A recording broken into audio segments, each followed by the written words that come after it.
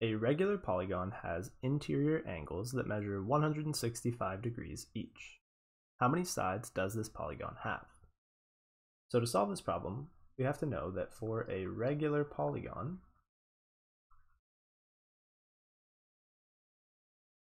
the measure of each individual interior angle is given by this formula.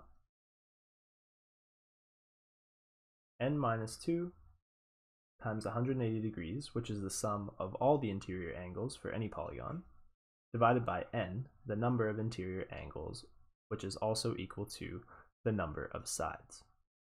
Um, so we're actually given the measure of an interior angle for this regular polygon, 165 degrees. So if we replace measure of an interior angle in this equation with 165 degrees, like so,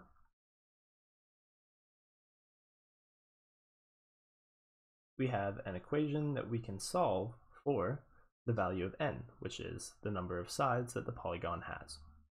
Um, so basically, we're just going to have to follow um, some algebra steps in order to do this.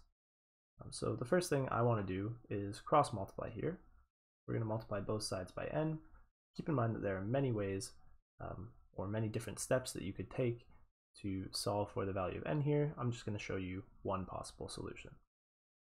So this will cancel the n's on this side, uh, and I'm also going to expand this bracket here by distributing this 180 degrees among both terms.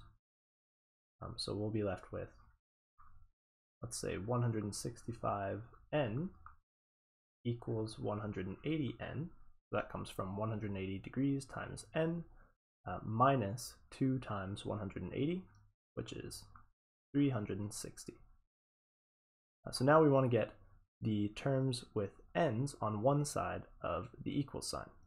So how about we subtract 180n from both sides. That'll leave us with